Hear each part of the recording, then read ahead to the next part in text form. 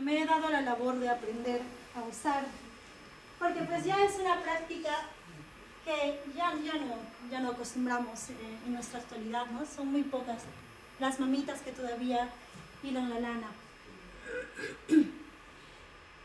Aguajuna es una obra compuesta también por el maestro Roberto Ojeda Campana.